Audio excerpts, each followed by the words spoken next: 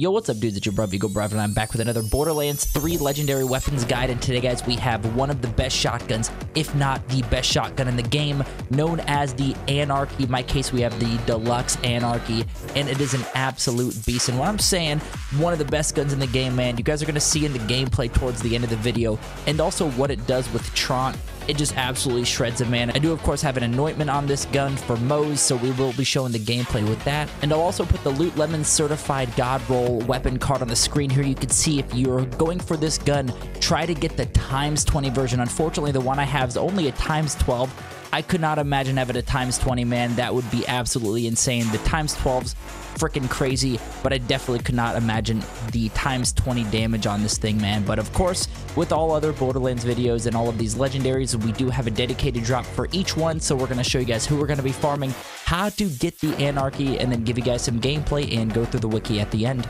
Now to get the Anarchy, we are going to be going into the Guns, Love, and Tentacles DLC, particularly Negul Neshai. Don't know if that's the right pronunciation. And we're going to be farming a mini boss known as the Kukuwa Jack.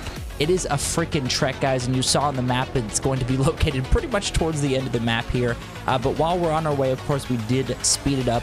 And trust me, once you guys get closer, there is a save station pretty freaking close to this thing, man. So it's not like you're going to have to make this run every single time you're trying to farm this enemy.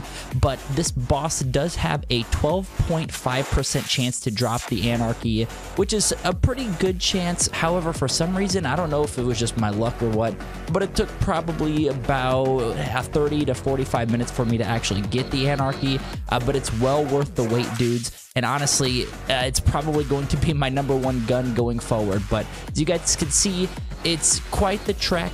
And of course, you can just run past all of the enemies. And while we're on our way there, I want to know in the comments below, have you guys used the Anarchy? If so, what's the best build with it, man? I know we're just getting back into Borderlands 3 and collecting these legendaries, which has been a freaking absolute blast. Uh, so I just need to brush up on Borderlands 3, I guess just knowledge in general. Uh, but let me know in the comments if you've used the Anarchy. Of course, if you have, definitely let me know which build you rock with. But you guys are going to come in this area, and there's actually going to be an elevator, which is going to be pretty much the end of the run. Obviously, there is still a little bit of a not too much of a trek, but a little bit to get to the Kukuwajack. I don't even know if I'm pronouncing that freaking right, man. But when you do save and quit, you're going to be here every single time. So just saying, you guys don't have to make that run. You're pretty much doing it from here, this point on to get the farm when you save and quit obviously uh, you're going to just end up there every time so again continue to follow my path i swear we are almost there and as i mentioned you save and quit you're pretty much you know oh, like 75, 80% of the way there. So there it is. There's the Kukuwajack. Now let's go ahead. We'll take it out, and then you guys will see that there is the Anarchy drop it. And again, a 12.5% chance Still pretty solid drop rate. However, it did take me a little bit, so good luck getting this thing, man. But there is the drop. Uh, now let's go ahead and show you guys the gameplay and go through the wiki. Anarchy is a legendary shotgun in Borderlands 3 manufactured by Tediore. It can be obtained randomly from any enemy that appears in the Guns, Love, and Tentacles DLC, but has an increased chance of dropping from Kukuwajack in Negul Neshai. The special weapon effects, the red text says, the stacks, the stacks every kill or reload grants a 30% damage bonus and reduces accuracy. Damage bonuses is multiplicative and stacks up to 10 times. It is reset if the weapon is put away, the user is downed, or changes zones. Based on damage type, it's always splash. Projectiles ricochet off the environment once towards enemies. Critical hits ricochet towards enemies. Also, this thing does come in incendiary, corrosive, cryo, radiation shock, or none. And that's probably why I'm absolutely running through these enemies, man. Towards the end especially, I've probably had the gun stacked up, so when we get to Traunt, it almost feels like it's just a couple shots and Traunt's down. The usage and description says, the weapon aims to replicate the Anarchy-based playstyle from Borderlands 2, giving the gun a gradual increase in damage in exchange for some accuracy. It accomplishes this extremely well with high stacks, allowing the shotgun to deal abnormally high damage that can even exceed rocket launchers.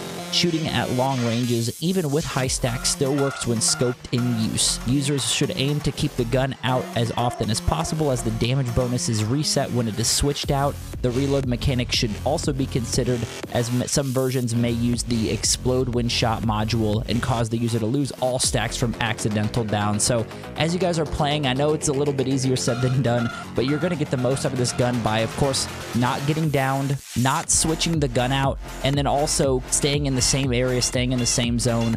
Those are the only three ways that this gun stacks do reset, so try your best not to do that. And if you can, then you're going to absolutely shred these enemies as I'm doing. The damage bonus can be stacked up to 10 times. It is multiplicative, so 10 stacks will result in 1,370% damage increase.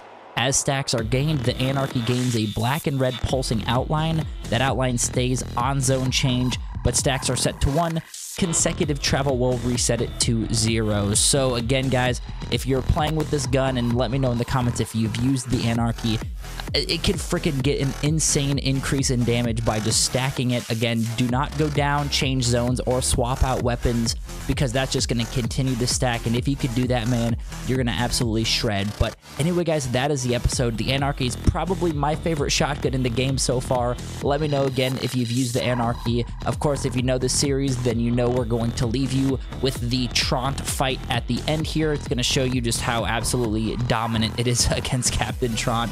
I mean, if you do enjoy the content, man, be sure to hit the thumbs up. Sub to the channel. I'll catch you guys in the next one. Peace.